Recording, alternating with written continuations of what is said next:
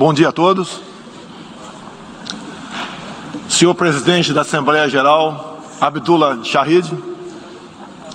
Senhor secretário-geral das Nações Unidas, Antônio Guterres. Senhores chefes de Estado e de governo e demais chefes de delegação.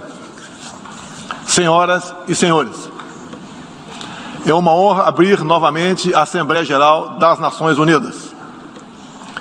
Venho aqui mostrar o Brasil diferente daquilo publicado em jornais ou visto em televisões.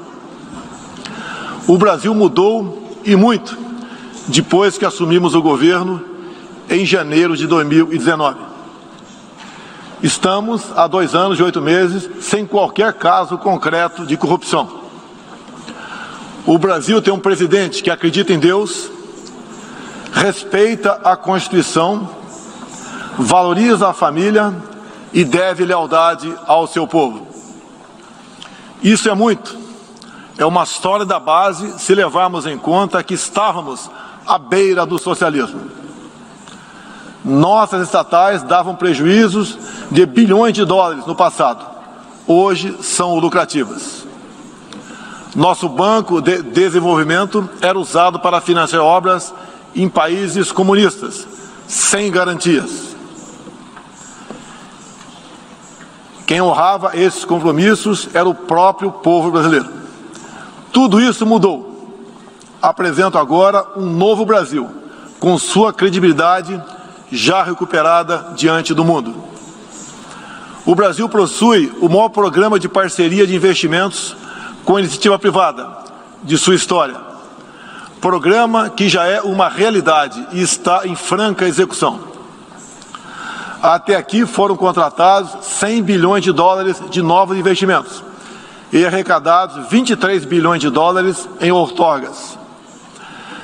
Na área de infraestrutura, leiloamos para a iniciativa privada 34 aeroportos e 29 terminais portuários. Já são mais de 6 bilhões de dólares em contratos privados para novas ferrovias. Introduzimos o sistema de autorizações ferroviárias, o que aproxima nosso modelo ao americano. Em poucos dias recebemos 14 requerimentos de autorizações para novas ferrovias, com quase 15 bilhões de dólares em investimentos privados. Em nosso governo, promovemos o ressurgimento do modal ferroviário. Como reflexo, menor consumo de combustíveis fósseis e redução do custo Brasil em especial no barateamento de produção de alimentos. Grande avanço vem acontecendo na área do saneamento básico. O maior leilão da história do setor foi realizado em abril, com concessão ao setor privado dos serviços de distribuição de água e esgoto no estado do Rio de Janeiro. Temos tudo o que o investidor procura: um grande mercado consumidor, excelentes serviços tradição de respeito a contratos e confiança no nosso governo. Também anuncio que nos próximos dias realizaremos o leilão para implementação da tecnologia 5G no Brasil. Nossa moderna e sustentável agricultura de baixo carbono alimenta mais de um bilhão de pessoas no mundo e utiliza apenas 8% do território nacional. Nenhum país do mundo possui uma legislação ambiental tão completa quanto a nossa. Nosso Código Florestal deve servir de exemplo para outros países. O Brasil é um país com dimensões continentais, com grandes desafios ambientais. São 8 milhões e meio de quilômetros quadrados, dos quais 66%, dois terços, são vegetação nativa, a mesma desde o seu descobrimento em 1500. Somente no bioma amazônico, 84% da floresta está intacta, abrigando a maior biodiversidade do planeta. Lembro que a região amazônica equivale à área de toda a Europa Ocidental. Antecipamos de 2060 para 2050 o objetivo de alcançar a neutralidade climática. Os recursos humanos e financeiros destinados ao fortalecimento dos órgãos ambientais foram dobrados, com vistas a zerar o desmatamento ilegal. E os resultados desta importante ação já começaram a aparecer. Na Amazônia, tivemos uma redução de 32% do desmatamento no mês de agosto, quando comparado a agosto do ano anterior. Qual país do mundo tem uma política de preservação ambiental como a nossa? Os senhores estão convidados a visitar a nossa Amazônia. O Brasil já é um exemplo na geração de energia, com 83% advinda de fontes renováveis. Por ocasião da COP26, buscaremos consenso sobre as regras do mercado de crédito de carbono global. Esperamos que os países industrializados cumpram efetivamente seus compromissos com o financiamento de clima em volumes relevantes. O futuro do emprego verde está no Brasil. Energia renovável, agricultura sustentável, indústria de baixa emissão, saneamento básico, tratamento de resíduos e turismo ratificamos a Convenção Interamericana contra o Racismo e formas correlatas de intolerância. Temos a família tradicional como fundamento da civilização. E a liberdade do ser humano só se completa com a liberdade de culto e de expressão. 14% do território nacional, ou seja, mais de 110 milhões de hectares, uma área equivalente à Alemanha e França juntas é destinada às reservas indígenas. Nessas regiões, 600 mil indígenas vivem em liberdade e cada vez mais desejam utilizar suas terras para agricultura e outras atividades. O Brasil sempre participou em missões de paz da ONU, de Suez até o Congo, passando pelo Haiti e Líbano. Nosso país sempre acolheu refugiados. Em nossa fronteira com a vizinha Venezuela, a operação acolhida do governo federal já recebeu 400 mil venezuelanos deslocados devido à crise político-econômica gerada pela ditadura bolivariana. O futuro do Afeganistão também nos causa profunda apreensão. Concederemos visto humanitário para cristãos, mulheres, crianças e juízes afegãos.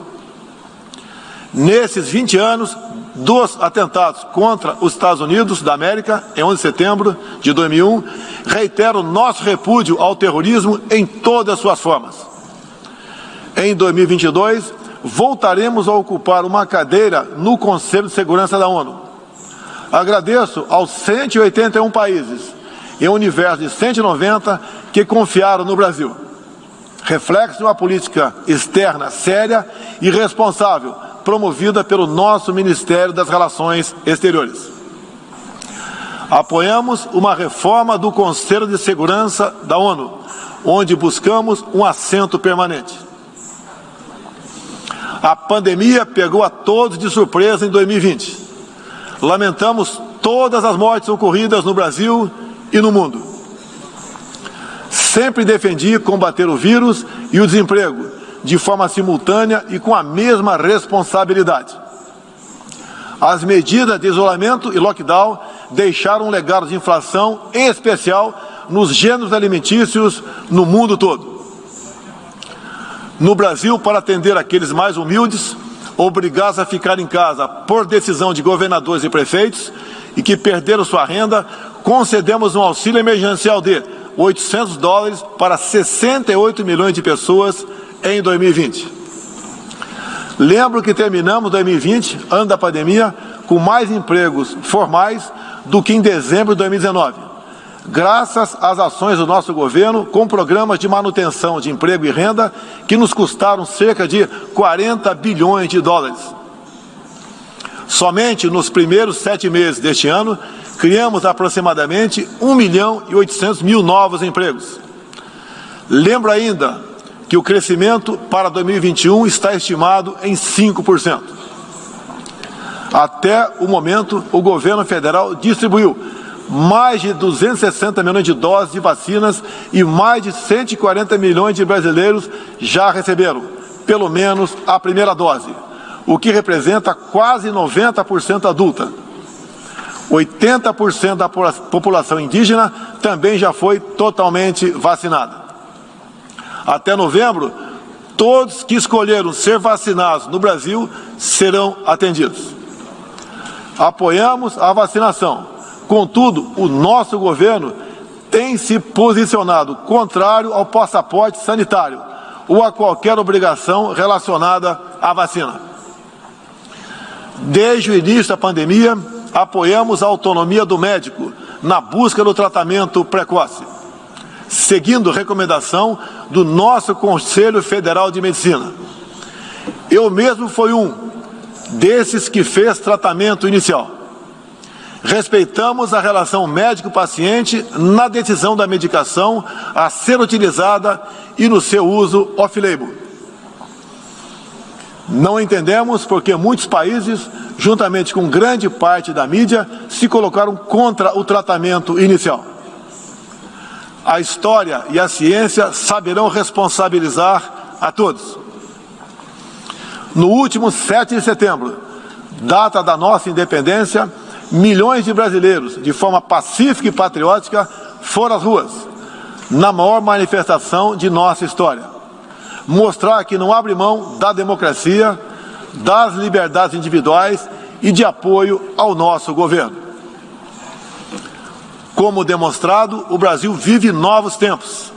Na economia, temos um dos melhores desempenhos entre os emergentes. Meu governo recuperou a credibilidade externa e hoje se apresenta como um dos melhores destinos para investimentos. É aqui, nesta Assembleia Geral, que vislumbramos um mundo de mais liberdade, democracia, prosperidade e paz. Que Deus abençoe a todos.